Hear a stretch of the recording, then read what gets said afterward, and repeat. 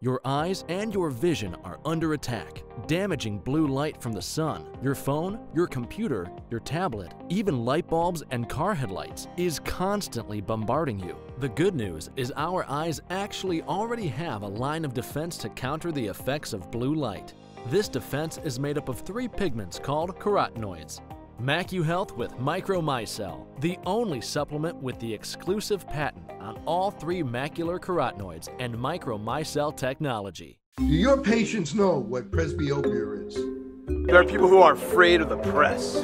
Have you talked to your patients about multifocal contact lenses? I've heard the bifocal, but not right, multifocal. exactly, not multifocal. Do you need help with your multifocal strategy? Learn more at the conclusion of this episode. With more screen usage and indoor time, myopia, also known as nearsightedness, is increasing and getting worse in children. Now, certified eye doctors can prescribe MiSight one day, the first and only FDA approved soft contact lens to slow myopia progression in age appropriate children. Visit CooperVision.com to find a Brilliant Futures certified eye doctor near you. Me, why are clinical trials important? Yeah, I think I think there's probably two main reasons. Number one, it provides us with the evidence base we need so that we know that our management decisions are based in fact and not in you know anecdote or fiction and so forth.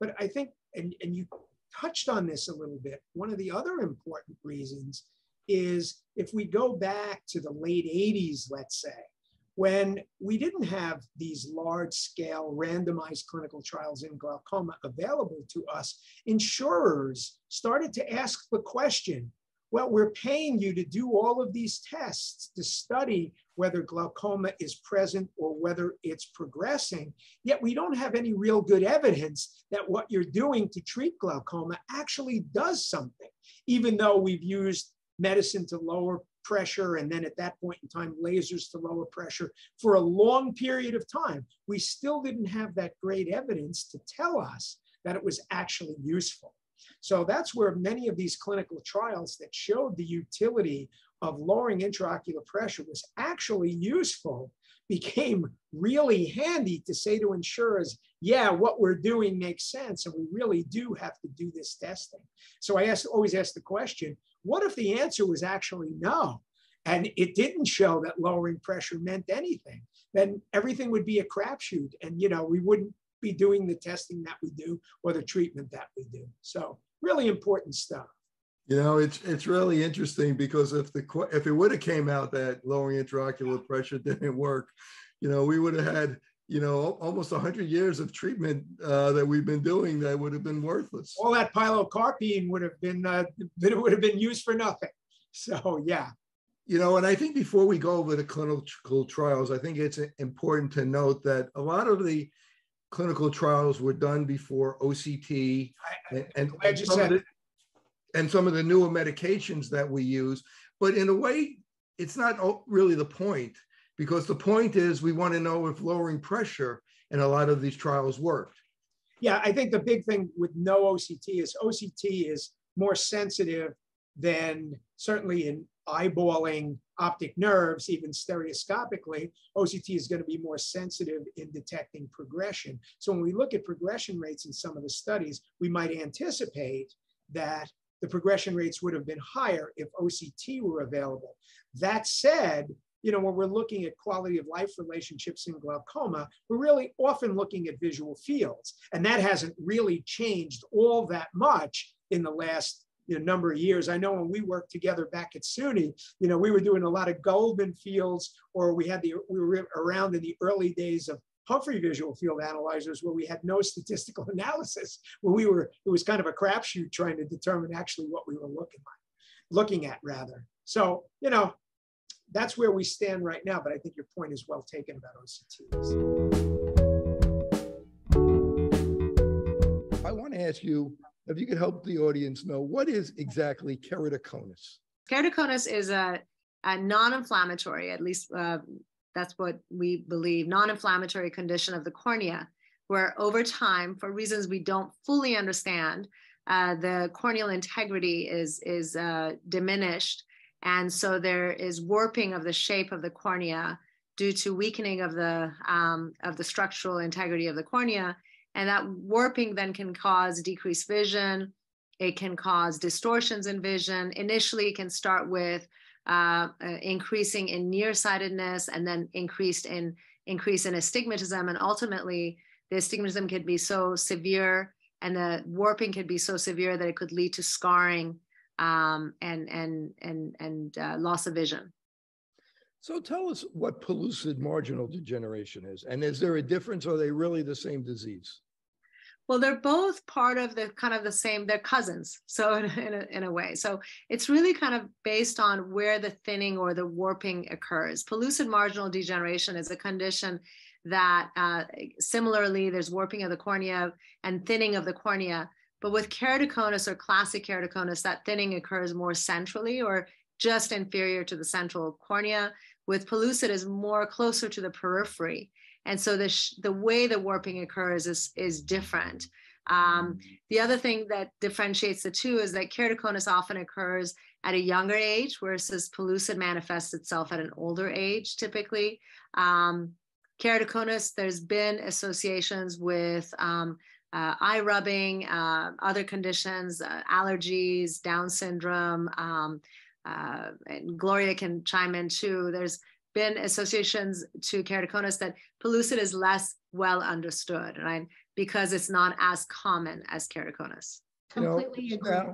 I, I just called it a disease. Is it a disease or is it a degeneration or do we not know? Well, it's, it's I guess how you want to define disease and degeneration. It is it's a uh, what would you say, Gloria? I would think it's it's both. I would say that both conditions, keratoconus and pellucid, are corneal degenerations, but it's also a disease. So yeah, I would say both. It's a corneal disease. And one one thing in it's in the case in the rare case that it's associated to Down syndrome. That's um, uh, um, it's an association, not necessarily. I, I personally believe because of potentially related uh, eye rubbing and, and laxity of, of, of the lids and such, it's hard to understand exactly why it's associated. Um, there's it's also some association to call, um, collagen vascular diseases and such. But um, when I think about disease, I think more of a systemic, I suppose. I guess you could call it a corneal disease. It is more specific to the cornea. So let me ask Dr. Chu to jump in here for a second. What is forme fruste? Uh, so keratoconus? Fruit keratoconus, it's, it's very interesting and it's very difficult to find. Uh, as Dr. Shami said, if pellucid is rare, this is even more abnormal to see in clinic. It's essentially defined as a cornea that really has no abnormal findings when you're using your normal equipment in clinic, like your slit lamp and corneal imaging like topography. But the other eye, the fellow eye, has clinical keratoconus. So you'll see um, the bulging of the cornea, you'll see thinning, you'll see distortion in the cornea. But the other eye, it's not as obvious. So, you know, we know that keratoconus is a bilateral corneal disease, but one eye tends to be affected more than the other. So the forme fruste tends to be more in the minimally uh, affected eye is, I guess, how I would so it, say. So it's yeah. kind of like an incomplete phenotype expression.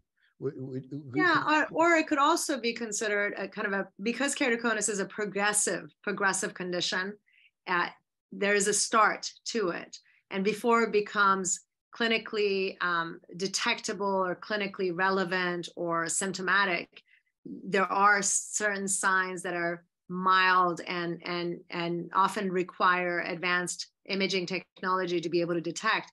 And so forme fruste could also be kind of early keratoconus that can yeah. evolve into keratoconus. Absolutely. And it becomes a real important issue, especially in a refractive surgical practice, where one of the biggest um, uh, kind of challenges in in uh, offering surgical um, options to our patients who are seeking refractive surgical um, options to have freedom from glasses is to be able to detect forme fruste keratoconus to detect yeah. that kind of early signs of keratoconus in a 20 some year old who may not yet have manifestation of the disease. why do you so why do you think that there's not enough cataract surgeons in other parts of the world and why aren't people getting cataract surgery yeah so here in the united states cataract surgery is a highly technologically dependent surgery we use a $60,000 ultrasound probe, the tip of which vibrates 40,000 times per second to liquefy and emulsify and suck out the cataract. We often use diamond blades or a million dollar laser to make the incision to prepare the cataract for surgery. And it's an expensive surgery. It costs roughly $2,000. Insurance pays for it, but it costs roughly $2,000 to fix a cataract in the Western world. And cataract surgery techniques were developed in that setting for those people. Um, for those for people overseas who make, you know, five dollars a day, a two thousand dollar surgery is utterly beyond their reach. And so for the longest time, there wasn't anything that we could do for people who had cataracts in the poorer parts of the world. Roughly 10 or 15 years ago, that all changed. In in engaging enterprises, enterprising doctors all over the world, collaborating on the brand new internet without corporate or industrial or government support, reinvented cataract surgery. They said, hey, take a look at this. Instead of using that million dollar laser for an incision, we can make an incision with a 25 cent blade. Instead of using a, a, a $60,000 ultrasound probe, we can pop the cataract in, out in one piece using a little needle that we bend in the shape of a fish hook. And they reinvented, reimagined, re-engineered cataract surgery and made it accessible to the world's poorest people. We can now do cataract surgery at a cost of roughly thirty thousand, uh, of roughly thirty dollars per case. And it turns out that that manual low-tech cataract surgery works every bit as well, especially in advanced mature cataracts of the type that we see overseas, as modern techniques, as Western techniques. So now all of a sudden, over the last 10 years, we've had access to a new cataract surgery designed for the world's poorest people and accessible to the world's poorest people. The job now is to bring that surgery to those people, to build the capacity, to develop the skills in people who didn't learn that skill, and to expand the reach of cataract surgeons to the people most in need of it. And that's what uh, that's what SEE International, the charity with which I work, seeks to do. So, what is MSICS? What does it stand for? It stands for Manual Small Incision Cataract Surgery. When I was training, I guess 35 years ago, we would make a big incision and we'd pop out the cataract in one piece. But, but we made an incision in such a way that we'd have to put in four or five stitches afterwards. And we used to tell people, don't bend over, don't lift anything, you're going to pop a stitch. And it would take weeks, sometimes even months before people could see well. Um, about 10 to 15 years ago, these uh, really enterprising third world doctors who had gotten tired of telling their blind patients that there was nothing they could do because they couldn't afford a $2,000 surgery, reinvented cataract surgery. They modified the incision, made it broader, made it stable. Um, they developed techniques for popping out the cataracts through a smaller incision. And in doing so, they created a surgery that takes 10 minutes that can be done at a material cost of roughly 25 to $30 and that appears to work every bit as well as modern Western techniques as we use them here in the United States. I would add that when this when this first arose, when these surgery techniques arose, nobody in the United States believed it. We all thought, come on, that can't be right. That can't be right. $30 for a cataract surgery. And um, and nobody was going to believe it unless a randomized clinical trial was done. And so my friend Jeff Tabin, who's a professor at Stanford and who was one of the developers of this technique, um, invited his friend David Chang, who's one of the United States' most famous and most prolific of cataract surgeons, to come to Nepal. And they trucked along his phaco machine and his microscope and roughly $100,000 worth of equipment. And they brought it up to the top of a monastery with some trucks and some yaks. And they sat him down next to Sanduk Ruit, who was Nepal's most famous cataract surgeon and an adherent to this manual small incision technique. And they sat the two doctors down, one next to each other, one doing a $2,000 per eye surgery, the other one doing a $30 per eye surgery, and randomly assigned patients to one or the other. And it turned out that for the advanced cataracts that they see in Nepal, the um, manual technique was quicker, the visual recovery was quicker, and at six weeks, the two eyes were equivalent. Um, the manual technique worked every bit as well as the fancy, highly technologically dependent techniques that we use here in the United States. It's also worth noting that it's not uncommon when I'm operating overseas for the lights to go out. You know, power is something we take for granted and it's awfully periodic in certain places in the world. Um, when the electricity goes out, you can't do modern Western cataract surgery, but you can sure do manual cataract surgery. And when the lights go out overseas, all the nurses take out their their cell phones. Everybody's got a cell phone. They turn on their flashlights, and we get right back to work. Um, I've often I've seen doctors in Africa turn on their car and run a run a wire from the car battery to the microscope, and they can do if they have a light, they can do cataract surgery with the manual small incision technique. Here in the United States, without power, there's not much we can do. we just shut it down if the power ever goes out. Of course, it doesn't go out in the United States as it does over there. But yeah, it's a technique designed and evolved for the world's poorest people that that offers us a, a path to the end of needless blindness in the world. So we're going to talk a little bit about uh, about your uh, with Mr. Beast, your your segment with Mr. Beast, and and and later in the show. But I, it's funny. I had a patient who saw that Mr. Beast segment that you did, and he asked me, why don't we do that type of surgery in the United States? Why are yeah. we doing why are we doing the two thousand dollar surgery? Right. So the answer is we operate on the United on cataracts in the United States pretty early in their course. Um, a cataract in the United has, States has the has the consistency of like melted ice cream. Um, it's not rock hard. It's kind of soft and mushy. And the techniques we use here were designed for those kind of cataracts, and they work best for those kind of cataracts. Um, as you might imagine, though, if you have a rock hard cataract, one that's the consistency not of melted ice cream, but the consistency of a marble, it's really hard to emulsify. And it's and it's not all that safe to spend all that energy within the eye breaking up a rock hard cataract.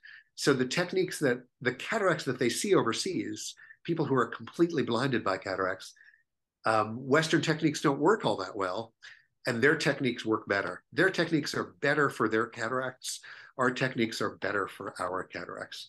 And it makes sense here to do um, ultrasound techniques, techniques that use a tiny incision. It's worth adding, and I didn't mention this before, there's a little bit less astigmatism induced with our techniques than with theirs. So if your goal is 20/20 vision, is perfect vision, our techniques are a little bit better.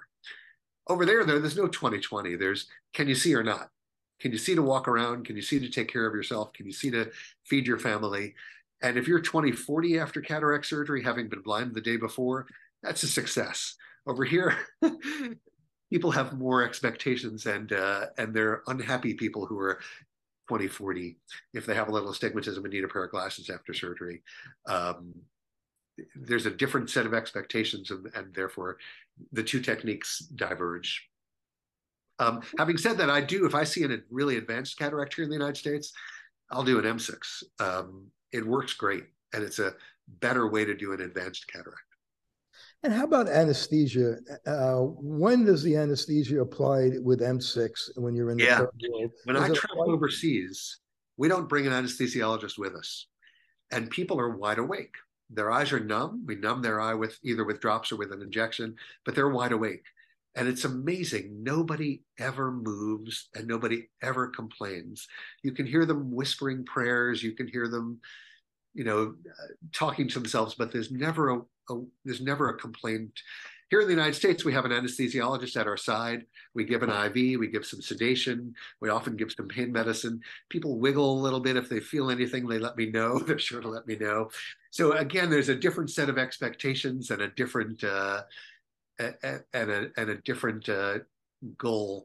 Over there, they know this is their one shot, and they and they know life is not free of pain. Um, that there's supposed to be some pain in life, and so um, and so culturally, they're accustomed to holding still when the doctor tells them to hold still. Um, the United States, for reasons that aren't entirely clear to me, consumes I think 80% of all the pain medicines in the world. Um, and uh, and we have this understanding that that we should never have any pain, and so we use anesthesiologists. The anesthesiologists are careful to assure that the surgery um, is painless. Often we give people sedation that makes them half asleep during surgery, it's a different expectation. And, and it's cultural. It's um, and it's not it's outside of my realm of expertise other than to say that over there people do great without it and here they need it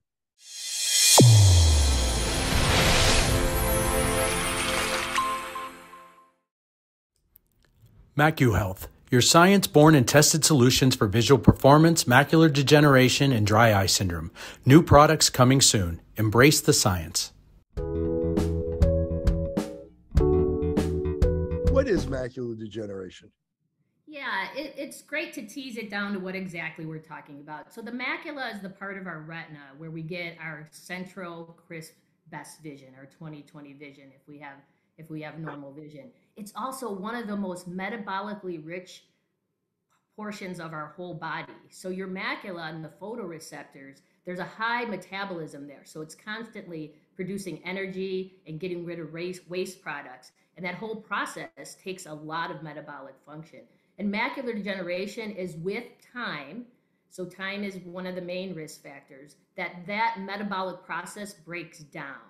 And it breaks down because of a buildup of what we call drusen. And drusen is basically very similar to cholesterol. It is a cholesterol, similar to the cholesterol that can build up in our arteries. So it's it's it's it affects so many folks right now. Uh, over 11 million Americans have macular degeneration. It's the leading cause of vision loss for those of us 60 and older in the U.S. and the leading cause of, of vision loss worldwide for ages 50 and older. So, do you think macular degeneration is an epidemic now?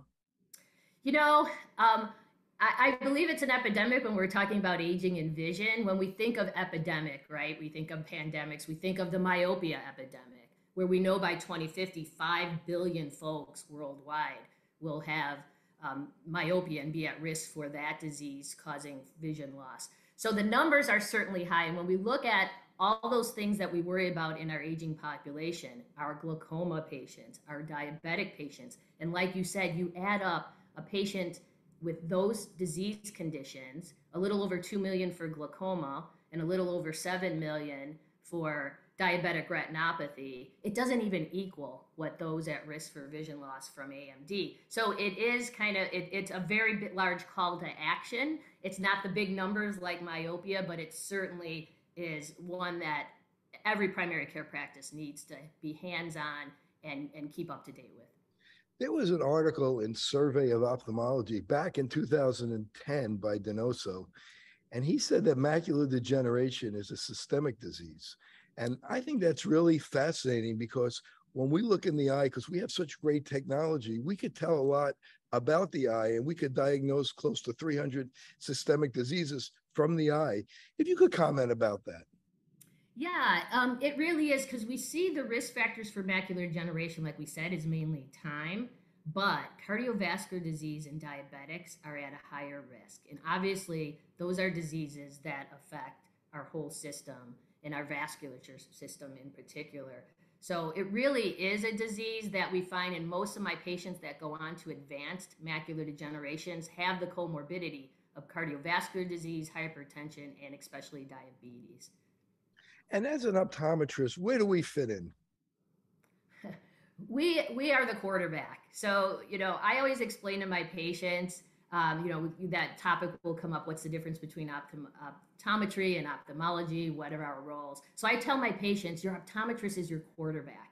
We deal with five ophthalmology colleagues that we love, our surgical colleagues that we co-manage, and we we farm you out to those folks when you need it and we'll co-manage your care but we're the quarterback. And the quarterback a most successful quarterback knows when to throw the ball and when to not throw the ball. And optometry is actually more important because we see our patients you know at our practice from cradle to coffin. So we know them for years and years and years. And so when i can educate them about conditions they're at risk for and then be that quarterback and not only help prevent conditions, but then have advanced technologies when they do convert that I can keep them in house and watch them as closely as possible for better outcomes, and not have to, um, you know, have them farm out to our retinal colleagues is the whole goal.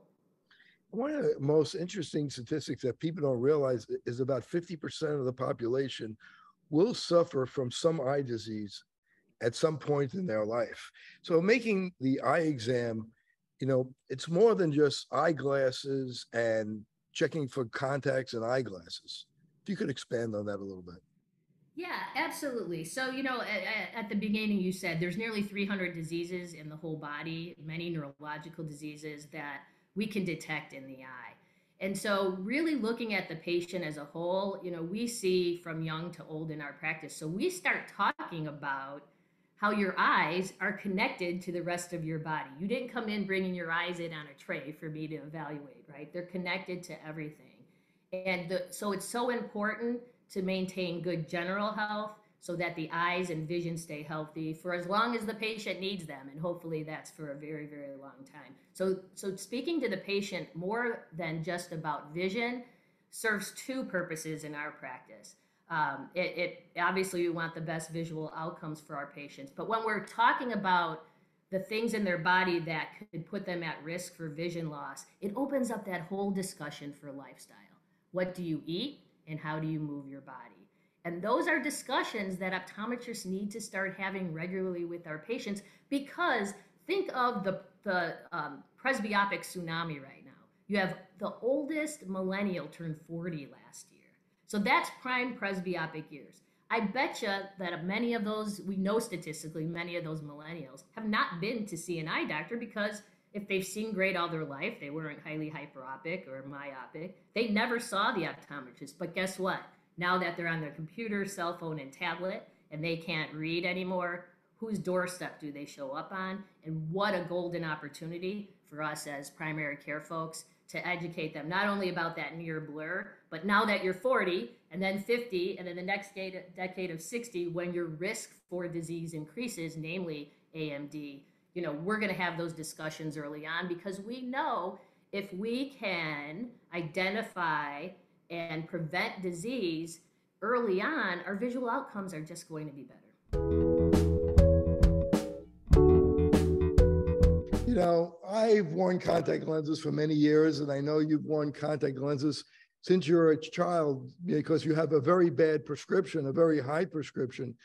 Is contact lenses really a miracle? You know, I would say so.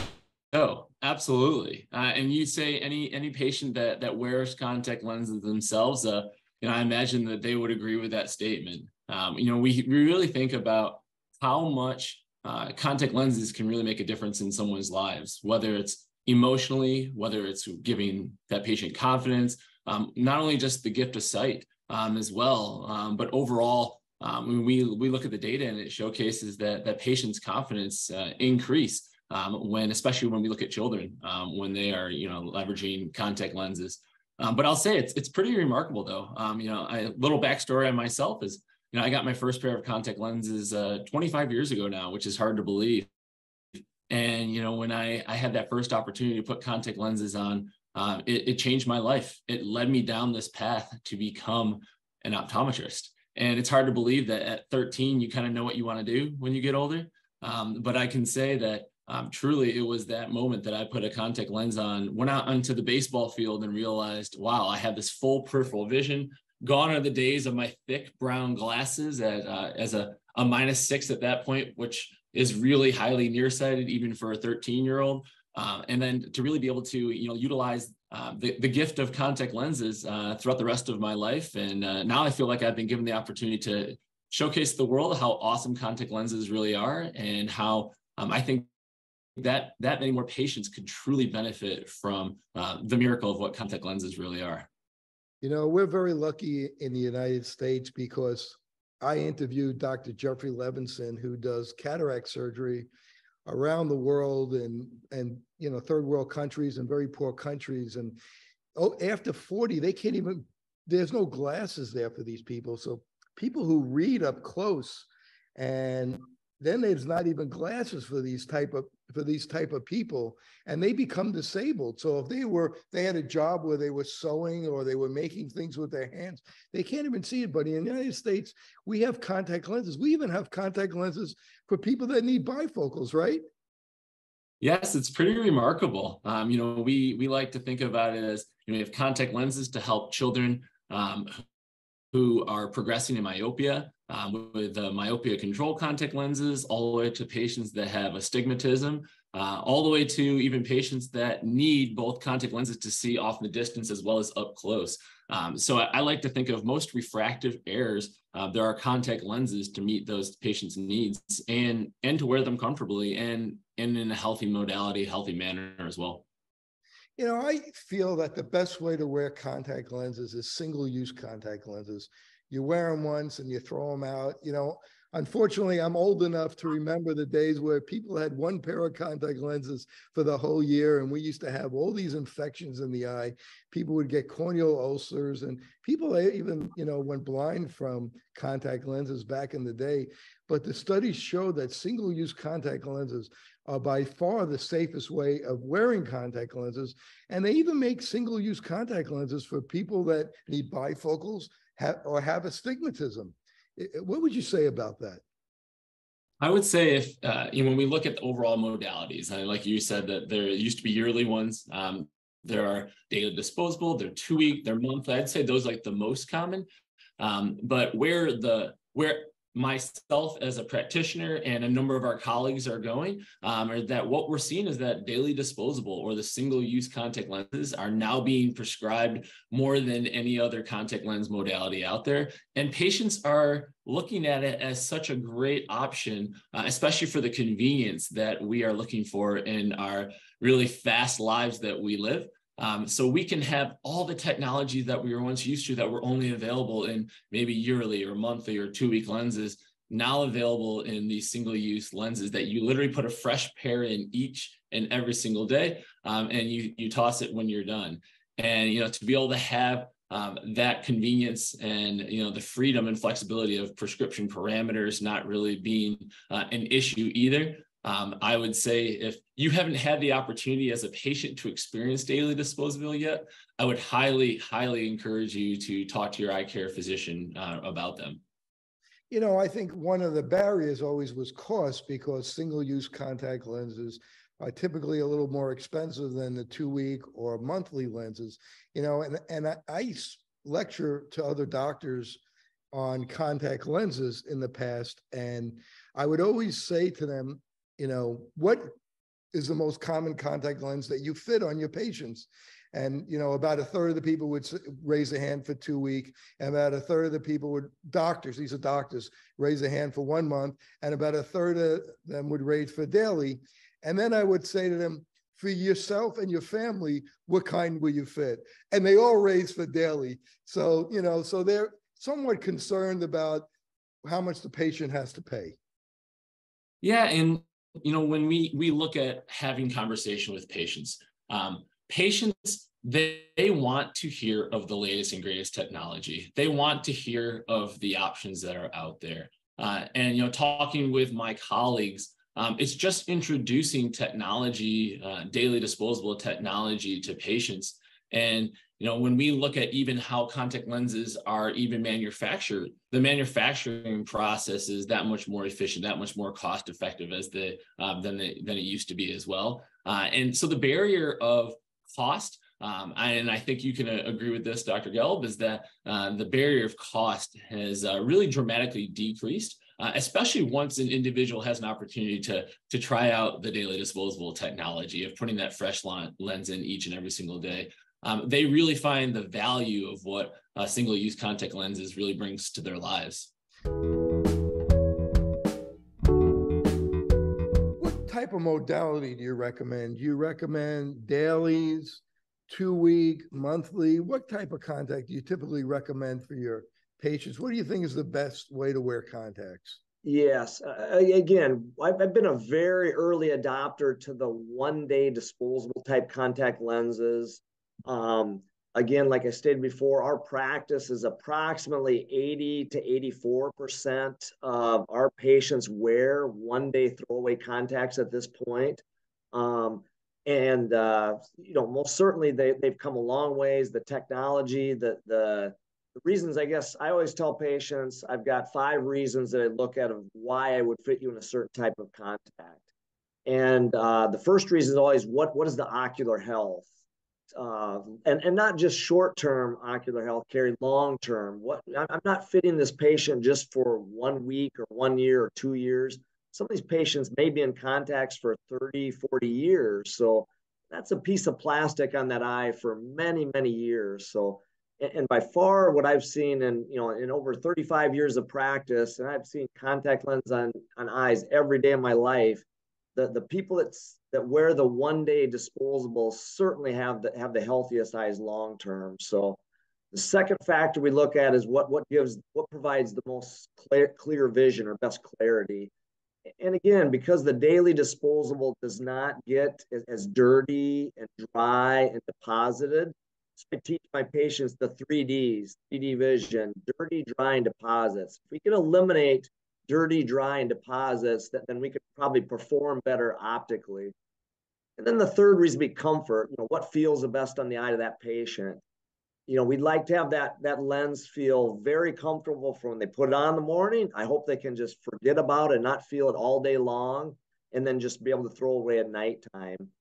And then the fourth reason would be uh, reason what or why we fit contacts. Uh, it would be convenience. Um, certainly the dailies because we don't have to do any cleaning becomes more convenient in most people's busy lifestyles today. And then the fifth factor we look at is, you know, what, what's the cost of the contact? So, and, and I'll always tell patients, you know, the, the, the cost of the daily disposables, it, it, it may be more, but, but what do you get? What do you get for that? What's the value proposition? And the value that people get from those other four factors of the best eye health, best vision, the best comfort, and the best convenient will usually outweigh the cost at that point a lot of times patients will ask, when should they remove a contact lens? You know, if they're walking around during the day and all of a sudden, when it's a definite time they have to take the contact lens out and either give their eyes a break or actually call their doctor and be seen.